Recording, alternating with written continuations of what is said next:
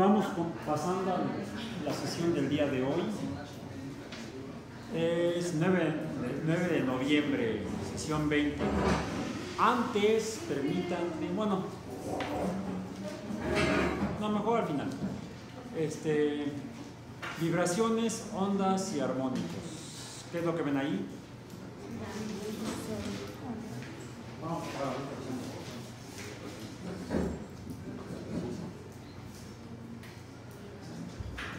¿Sí lo ven mejor? Si bajo la pantalla se verá mejor.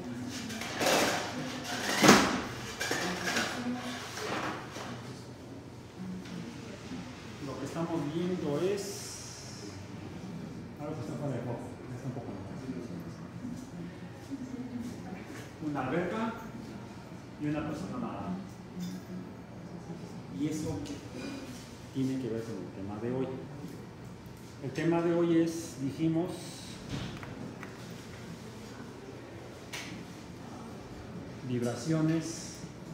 ondas y armónicos. ¿Qué es eso? Vamos a cambiar un poco de aplicación. Voy a venir a los libros para recordar algo que hemos visto. Voy a prender la luz.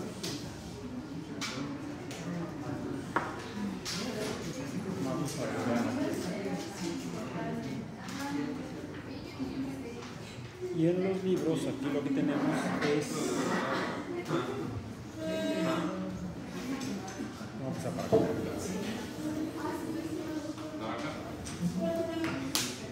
Tenemos aquí, eh, bueno, vamos a la pantalla.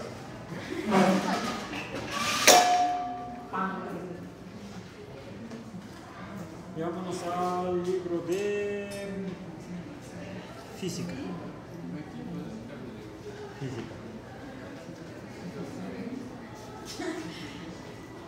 Ya cuando vimos movimiento, cuando vimos movimiento, vimos eh, algo respecto al movimiento angular, eh, que se señala aquí, que se, por cierto se define como movimiento angular, aquí está abajo, es el desplazamiento rotacional. Si algo rota, presenta precisamente movimiento angular y tiene algunos parámetros. Vamos a circular motion and gravity. Eh, ah, por cierto, se fijan lo que dice aquí. El movimiento angular sería movimiento circular, más generalmente movimiento angular. Y dice, nos dice aquí que es, eh, pueden ser eh, los niños jugando a la ronda, los planetas orbitando el Sol, las propelas de un aeroplano, o un yoyo. Aquí traigo mi yoyo, mi yoyo artesanal. Este, por cierto, presentó ahorita un movimiento circular, el yoyo cuando se desplazó hacia abajo. Y también vimos que puede presentar este otro movimiento. Luego había un truco que le hacían como así, por acá, y le hacían el columpio. Y el chiste era hacer el, todo el movimiento del yoyo. El movimiento circular del cada vez que se enrollaba el cordón. Eh, bien. ¿Qué más del movimiento angular? Y vimos que se, se mide o se determinan sus parámetros de movimiento en función, por ejemplo, de la velocidad.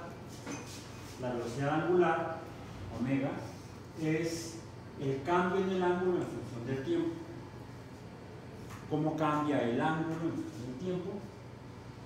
Eh, vimos que eh, si el cambio no es lineal, entonces habría una aceleración angular, la cual se definiría como el cambio de velocidad angular en del tiempo, sería alfa, ya no es alfa, la velocidad, la aceleración angular. Y eh, de esa manera podemos determinar los parámetros fundamentales de, la, de un objeto que Finalmente se puede también referir a la velocidad, no la velocidad con la que cambia el ángulo cada vez que está rotando el objeto, sino si marcamos un punto, un punto, eh, y lo imaginamos como un punto sobre, una, sobre un círculo, este punto, por cierto, coincide con una línea que pasa tocando el, perímetro o la, circunferencia del círculo. ¿Y ese punto cuál es? La tangente. Entonces, la determinación del cambio de posición de un punto sobre el círculo sería el cambio en la velocidad tangencial. ¿Cómo cambia? De hecho, acá si este es el punto, aquí está la tangente, cuando, cuando rota y cambia el ángulo, ¿qué sucede? También cambia el tangente. Y por lo tanto también cambia la posición del punto en el espacio en el que se encuentra, en el plano, con respecto al plano en el espacio. Por eso es que para medirlo se determina a través de la medición de ángulos, puede ser en grados o en radianes y por ese motivo vamos a hacer un rápido repaso, no, siempre tiendo a buscar afuera de la biblioteca y no, está dentro de la biblioteca. Un rápido repaso de qué es, de qué es el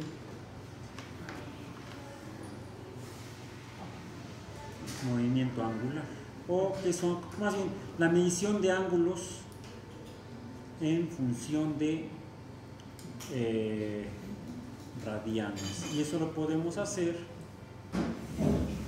observando, por ejemplo,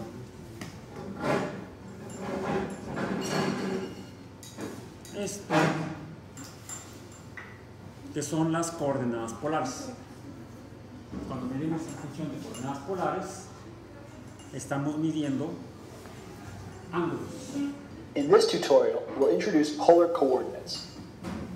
Here's the xy plane, and here's a point on the plane. The most common way to describe this point's location is to use x and y coordinates. Let's say this point has an x coordinate of 4 and a y coordinate of 3. Then we'd say for this point that x equals 4 and y equals 3. Another way to describe a point's location is to use its distance from the origin, shown in purple, which we'll call r, and we'll also use the angle that the point makes with the positive x-axis, shown in green which we'll call theta. We can use r and theta instead of x and y to describe where a point is on the plane. For this point here, can you figure out what the value of r is? Ahí nos está marcando un punto en un plano, en un plano cartesiano, y este punto podría ser un punto en una circunferencia de radio r. Entonces la forma de determinar este punto podría ser con coordenadas cartesianas, cuál sería la longitud del radio en el círculo. ¿Cuánto? ¿Cuánto mide el radio de ese círculo? Nada más digo, parte del círculo. ¿Cuánto mediría? Serían 5 Cinco unidades. No dice si son centímetros, kilómetros, años luz, ¿no? ¿Cómo supiste que eran cinco?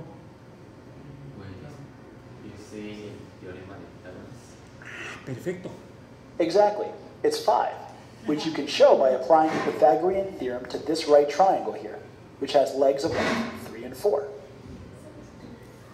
So one way to describe where points on the xy plane are is to use xy coordinates, which are also known as Cartesian coordinates. And another way is to use r theta coordinates, which are also known as polar coordinates. Here are rings that show our coordinates of 1, 2, 3, 4, and 5, where our yellow point is.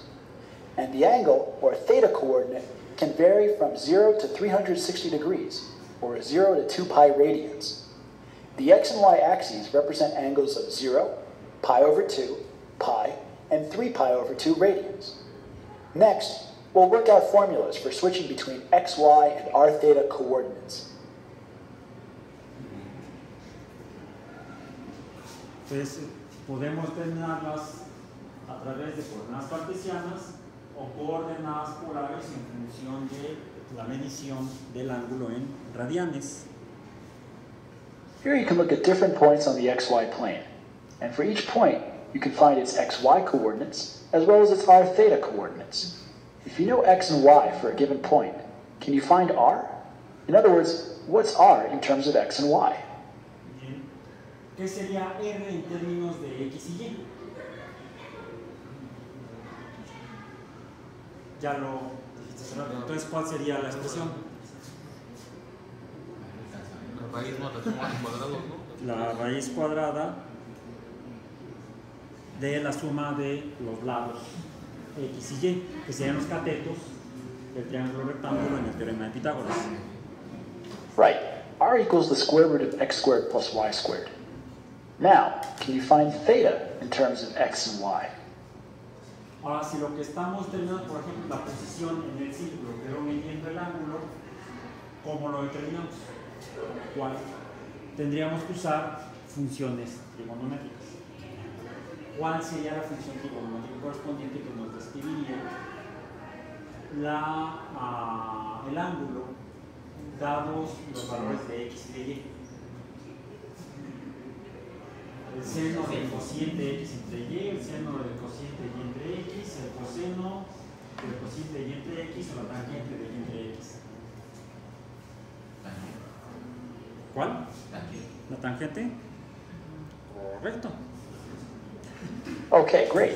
Now for the last question. Suppose you know r and theta for a certain point. Can you find its values of x and y in terms of r and theta? Bien, ahora lo que nos interesa es conocer la posición conociendo el ángulo y el, ángulo y el radio.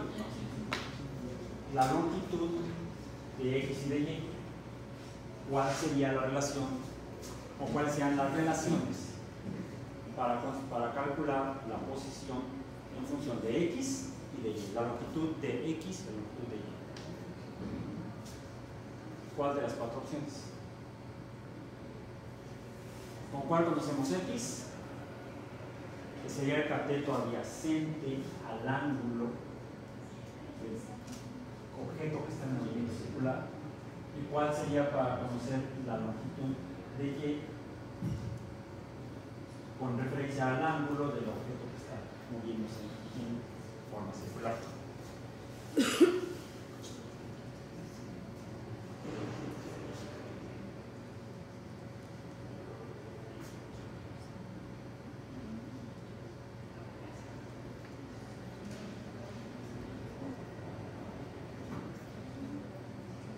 ¿Cuál es? ¿La segunda? ¿La segunda opción? Correcto. Bien, decía un bonito. Vamos a regresarnos a rápidamente, para estar seguros de que todos estamos hablando de lo mismo, a revisar.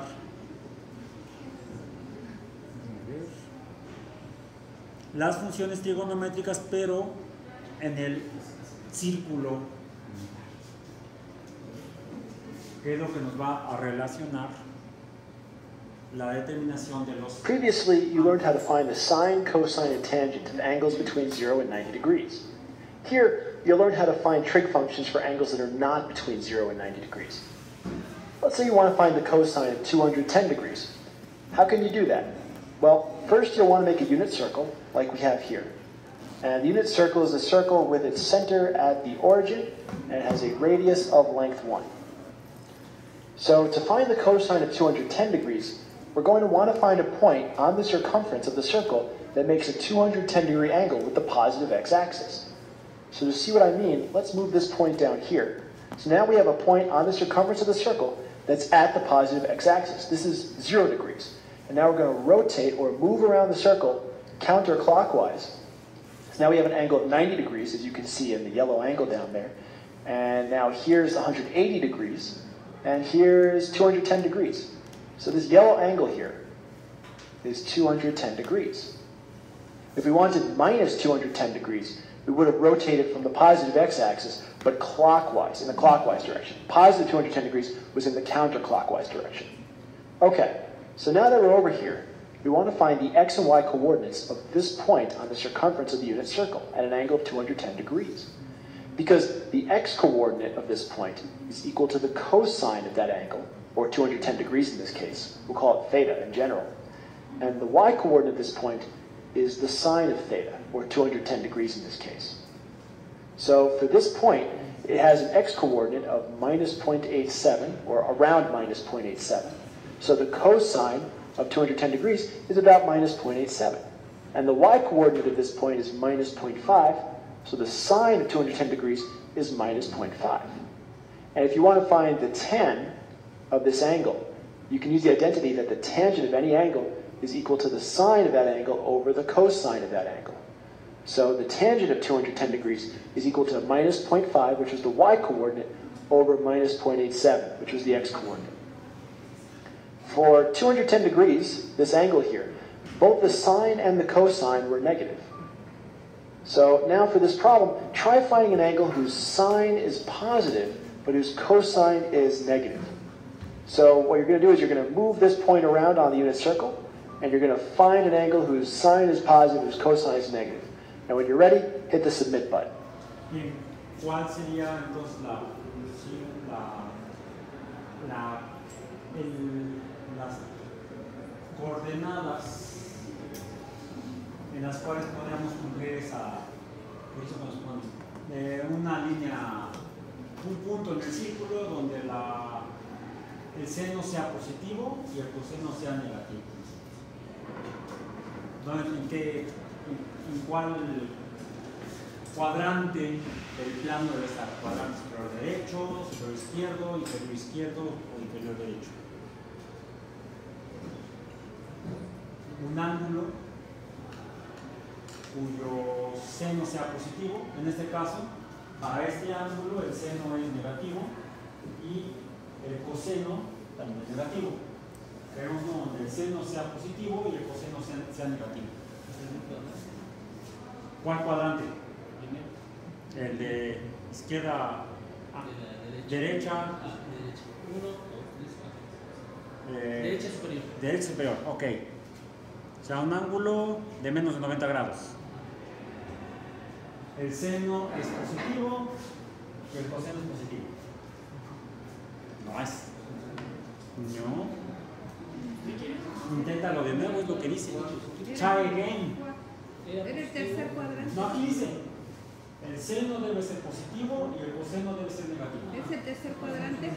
Sería entonces abajo a la izquierda. Sí. Ahí ambos son negativos.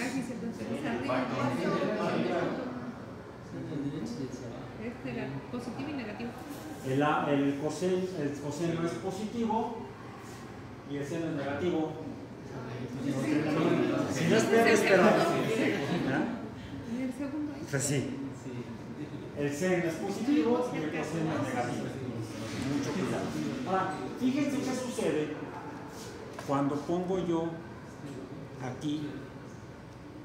Aquí son 0 grados. Si sube, aumenta el seno, también el coseno, llega hasta un 45 grados, sería 7.71 ambos valores y luego disminuye. Y puede estar subiendo y bajando. Imaginen que esto es un fenómeno que se repite. Un fenómeno periódico, como cuando revisamos la, en, en la variable tiempo, en la cantidad llamada tiempo, vimos que es el intervalo entre eventos que se repiten y creo que hicimos el ejercicio de ver las imágenes de dónde sale el sol, de dónde se oculta el sol. ¿de acuerdo? Vemos que el sol se desplaza a lo largo del año sobre el horizonte, va y viene. ¿sí? Podemos decir que desde un punto donde lo vemos, el sol estaría cambiando el ángulo de, nuestro ángulo respecto a nuestra posición de visión. Estaría haciendo tal vez algo así. ¿sí? ¿Correcto? Aquí tendría, se estaría desplazando unos grados hacia un lado, otros grados hacia el otro, de una manera oscilante, un poco como el yoyo. Yoyo de radio este.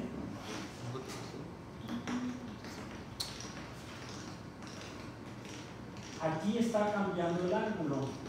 Imaginemos que lo tenemos acá. Va y viene.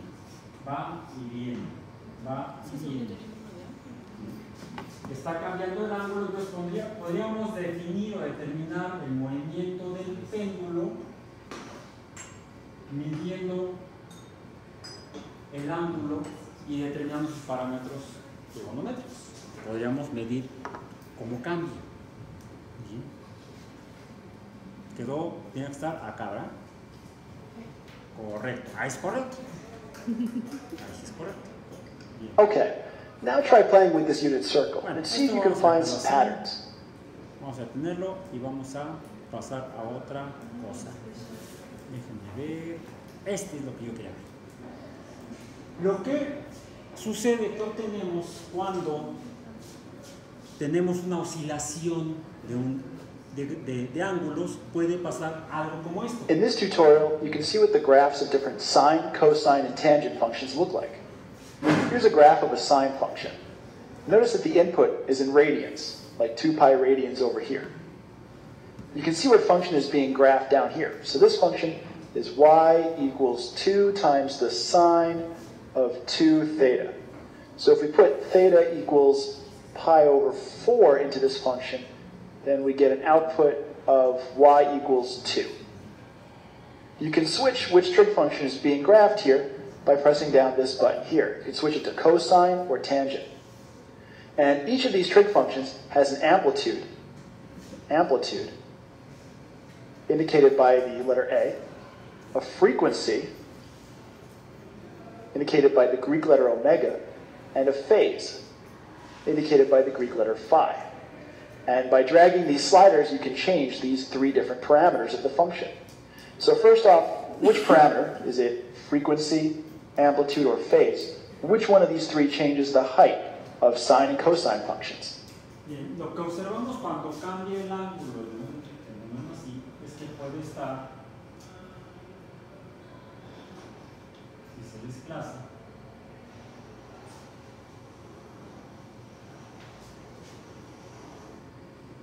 dando lugar a un fenómeno ondulatorio.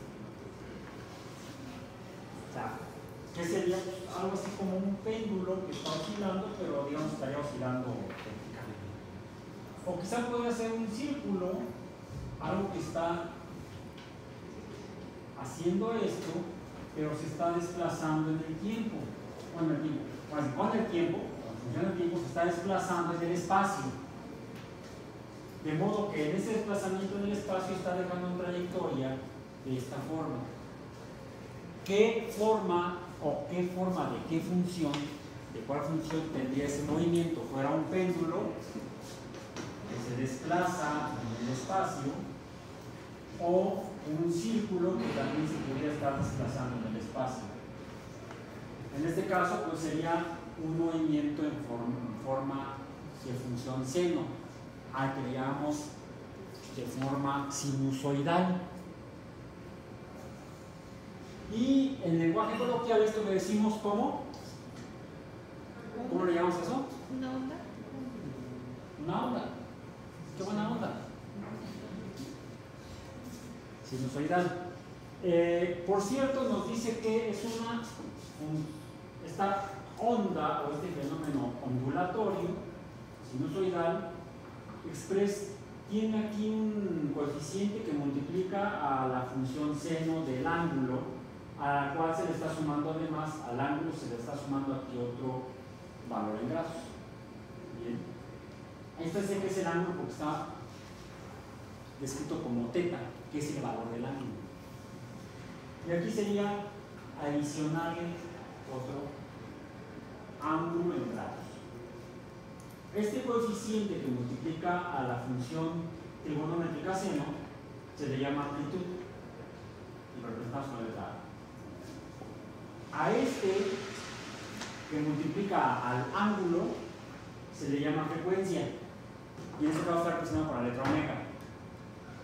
Y a este valor de ángulo que se le suma a la función seno, a la- al, al- al valor del ángulo, se le llama fase. ¿Qué pasa cuando esos valores cambian, cuando va- cambia la amplitud?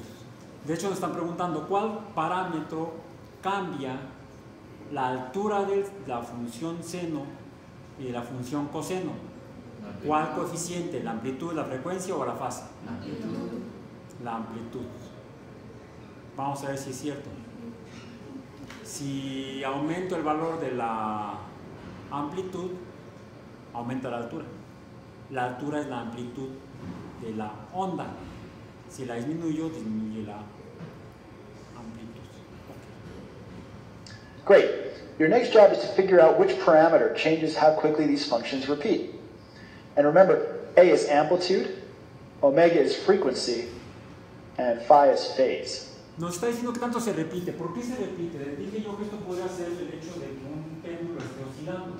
O sea, se repite el ciclo de, del péndulo. Ah, bueno, aquí empieza, va, viene, regresa, se repite, se repite, se repite. Y entonces, cada ascenso y descenso sería una repetición del fenómeno ondulatorio. Si fuera un círculo, sería sube, baja, sube, baja. Y si se desplaza sería cuando está ese punto en la tangente, estaría en la parte, en la parte superior del círculo y luego acá estaría en la parte inferior del círculo. ¿Sí? ¿Cuál es el parámetro? La frecuencia, la amplitud o la fase. Ya no es la amplitud, ya vimos que la amplitud es la altura y quizá la profundidad de la onda. Sería la frecuencia. La frecuencia, correcto. Lo podemos ver si cambiamos aquí el valor de la, de la frecuencia, que en esta onda mide 2, bueno, está multiplicando, este es- el ángulo está multiplicado por 2.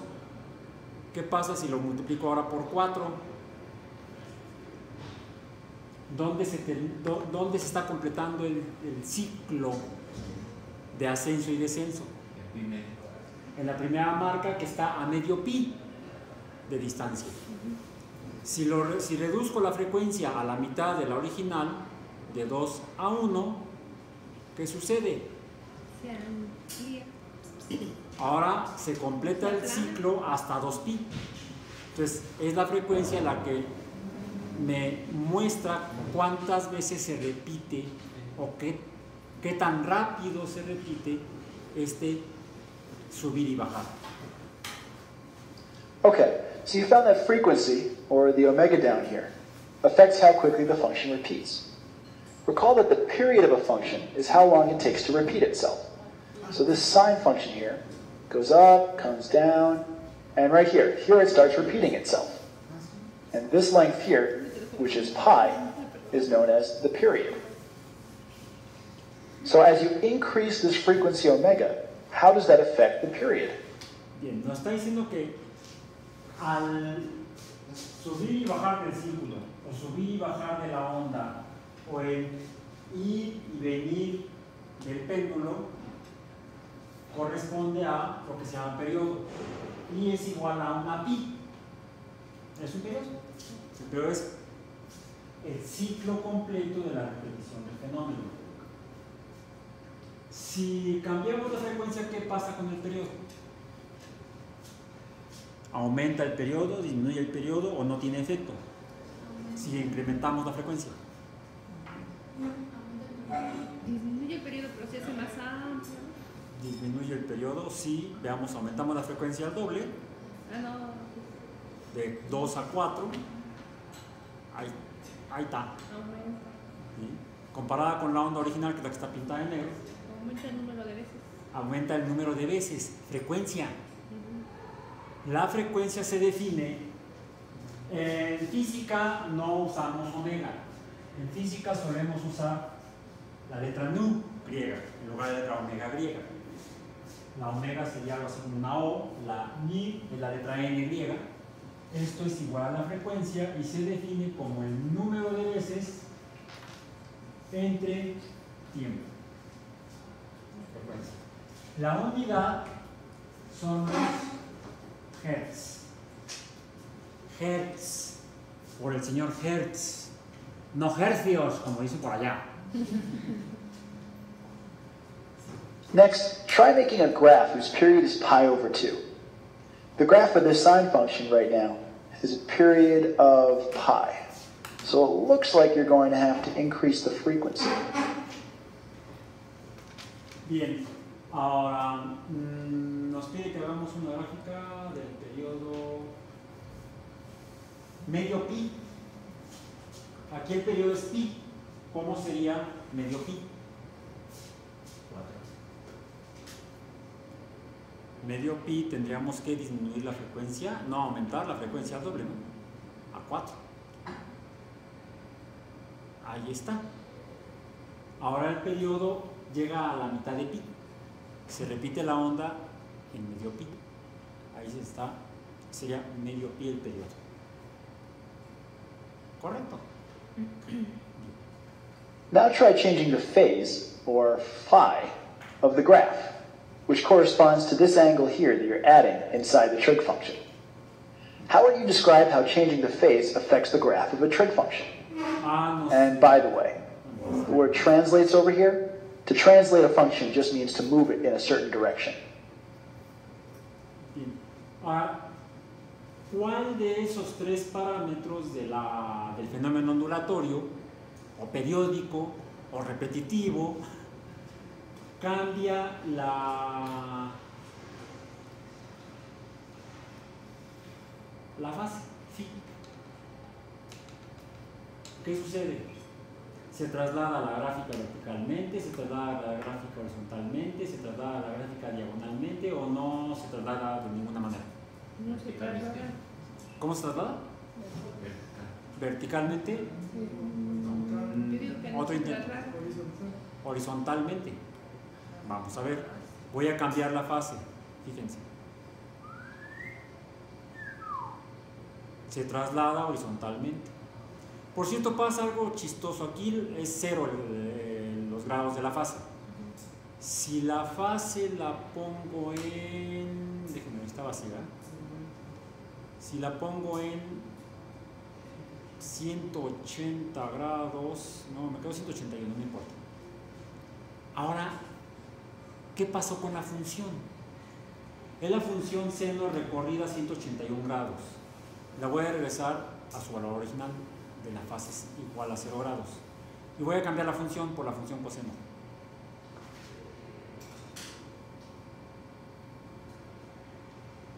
Es la función coseno, la función seno. Coseno, seno. ¿Qué pasa cuando cambio la fase de 0 grados a 180 de la función coseno? Ahora que tengo, bueno, 90 grados, perdón, 90 grados del seno. ¿Recuerdan la relación del seno y el coseno en el triángulo de Pitágoras? Entonces, Nice job. So in this tutorial, you saw that the amplitude, or the number that you're multiplying the function by, affects the height of the function.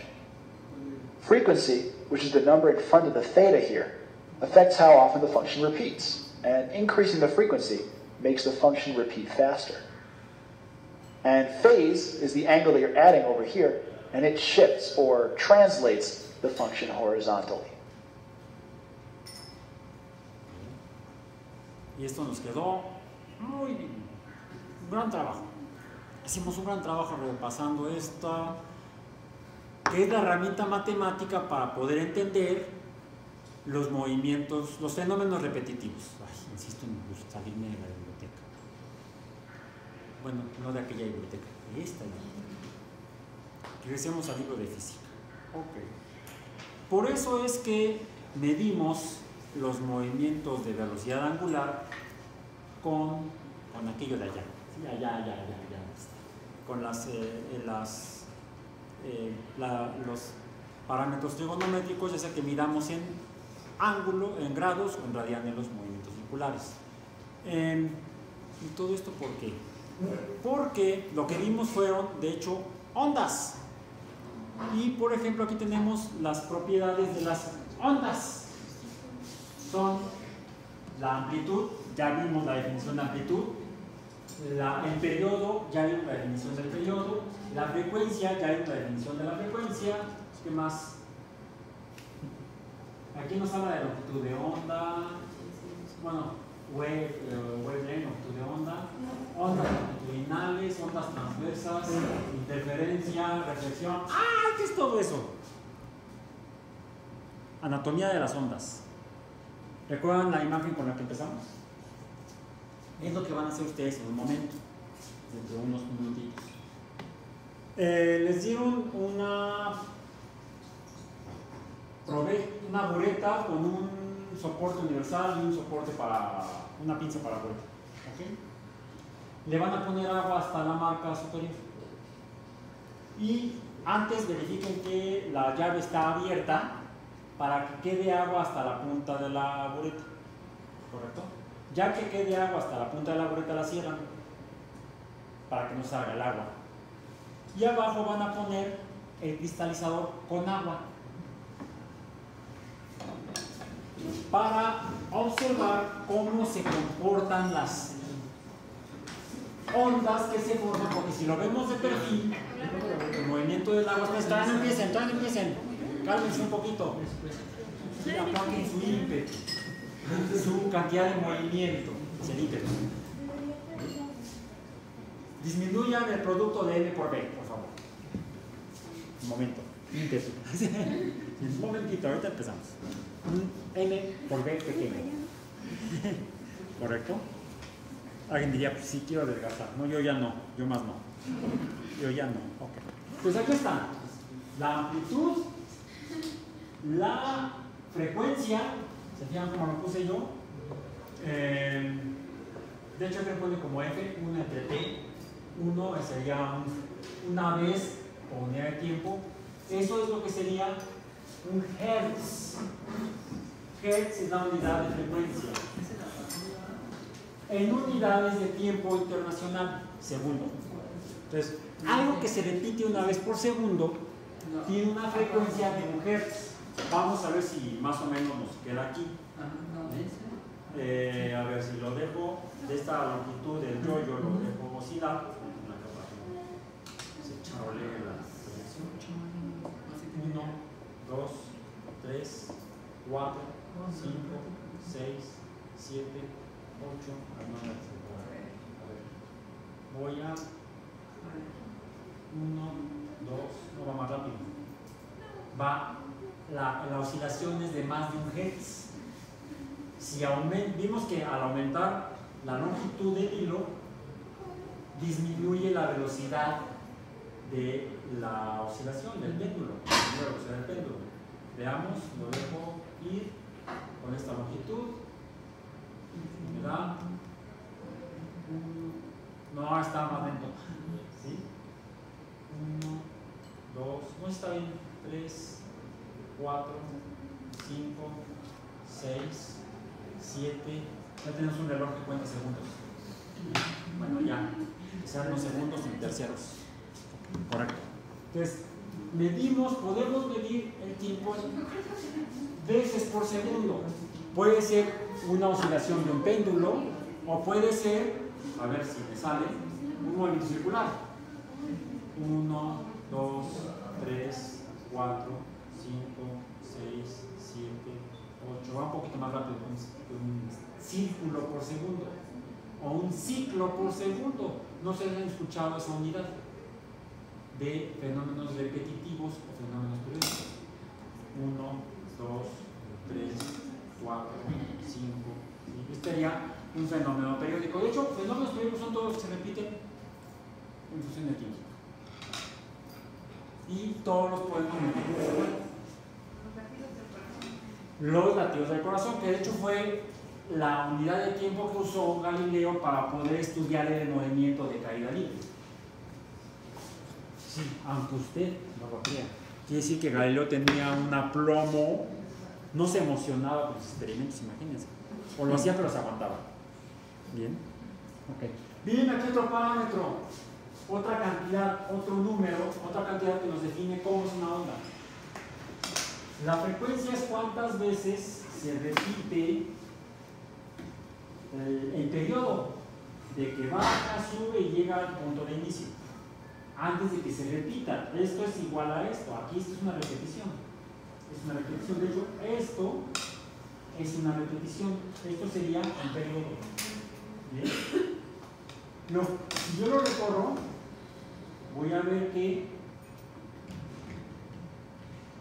equivale a, a lo mejor el fenómeno que se repite empieza arriba, baja y luego termina arriba, como un movimiento circular.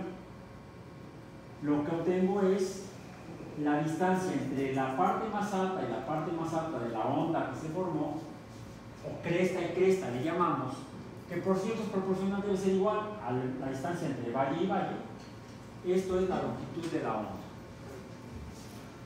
Que por cierto, si la longitud de la onda es grande, ¿qué pasa con la frecuencia? La frecuencia disminuye. Si revisamos las, eh, eh, las imágenes que vimos hace rato de, lo que de videos, pequeños videos tutoriales de un libro de matemáticas, un libro de cálculo, de cálculo, de hecho es de cálculo, sobre funciones, vimos que cuando disminuye la frecuencia, ¿qué sucedía con la longitud de la onda? Cuando disminuía la frecuencia, cuando se repetía más veces, no, aumentaba la frecuencia. Cuando aumenta la frecuencia, cuando se repite muchas veces, la longitud se hace pequeña. Cuando la frecuencia es grande, la longitud es pequeña. Cuando la, cuando la frecuencia es pequeña, se repite muy lentamente, la longitud son recíprocas, son, son eh, recíprocas, proporcionalmente eh, inversas. La, si la frecuencia, la relación entonces frecuencia respecto a la longitud de onda que representamos con la letra lambda, lambda es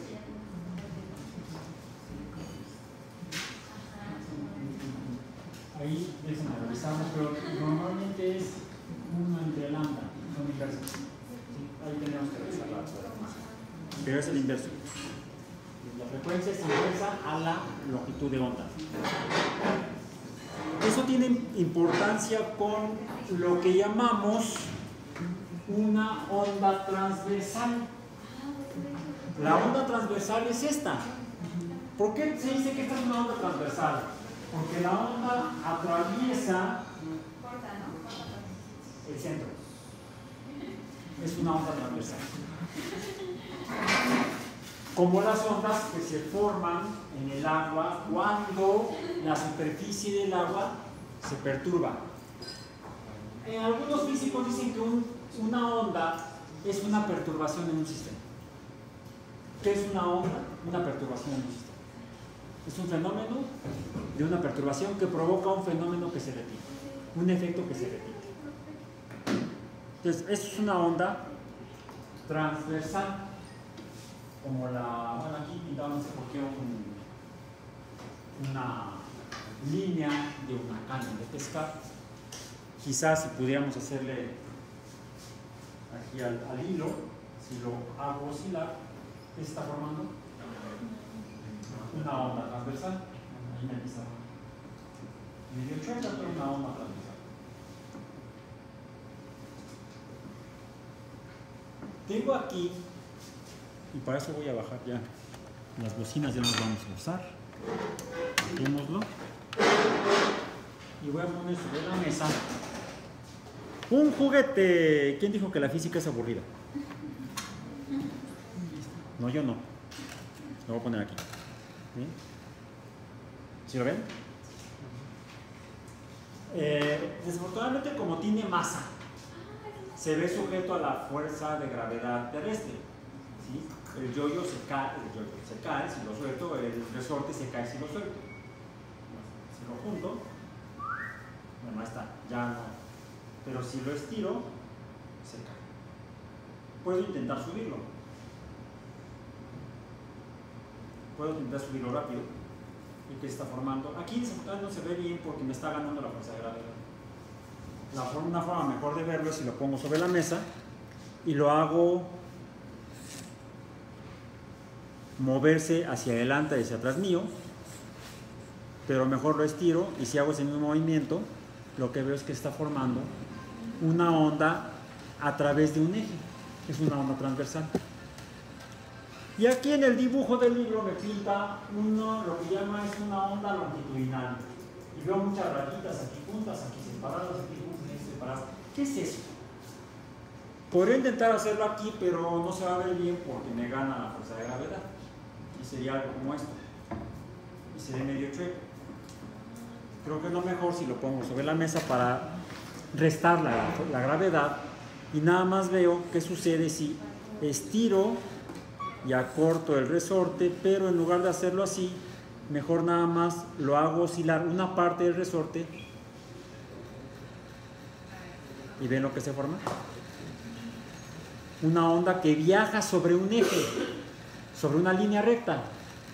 Es una onda longitudinal. Entonces, esta es una onda transversal y esta es una onda longitudinal. ¿Y qué creen? Pueden presentarse ambas al mismo tiempo. ¿Sí lo ven? Se ven las dos ondas, la longitudinal y la transversal sobre la mesa.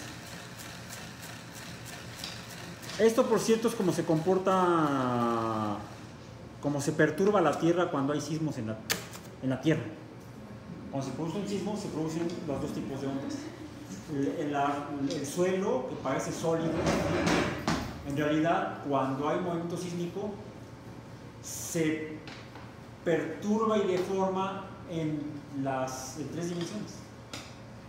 Y se pueden provocar tres tipos de ondas. Dos de ellas son eh, transversales y la otra es longitudinal al mismo tiempo. Es lo que hace que los sismos sean tan interesantes. Eh, tan interesantes. Bien. ¿Por qué aquí está hablando también de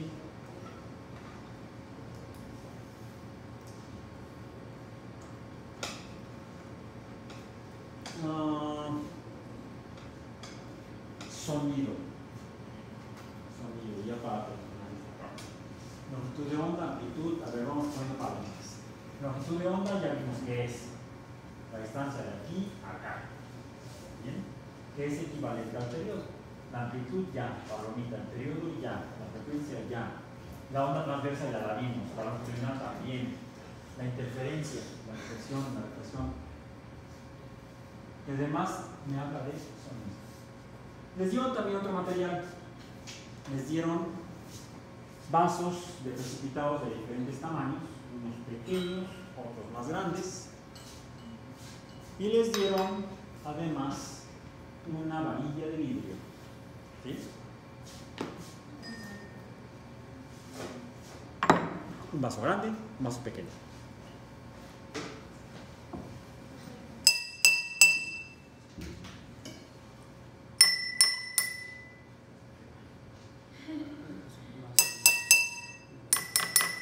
¿Suenan igual?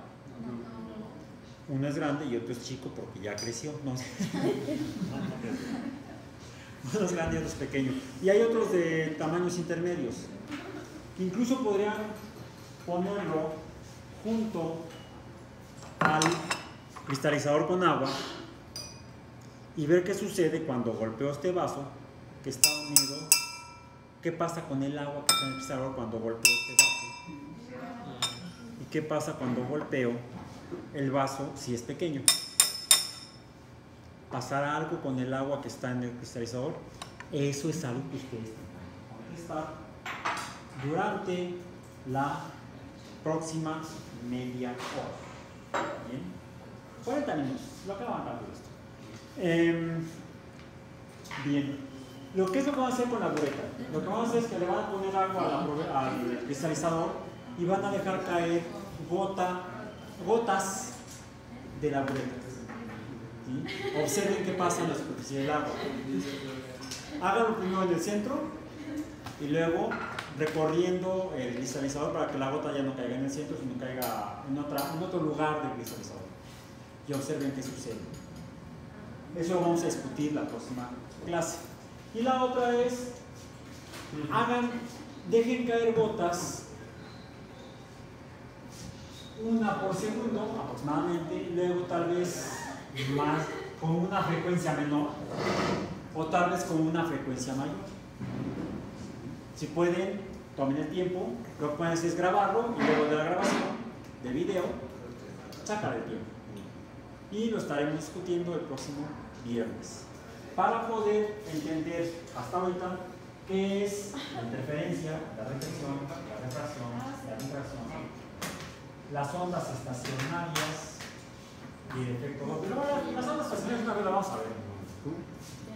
una esto es una onda longitudinal. Y de hecho lo que vemos es que empieza aquí y se va moviendo a lo largo de la línea. A eso también le llamamos una onda viajera. O es lo que sucede cuando se traslada el periodo de una onda, pero se mantiene trasladándose. Es una onda que está viajando. Es una onda viajera. En cambio, bueno, incluso, perdón, acá. La onda transversal también puede ser una onda viajera cuando vemos cómo pareciera que esta oscilación está viajando de un extremo hacia el otro. Pero es diferente así, lo que yo hago es esto. ¿Es una onda?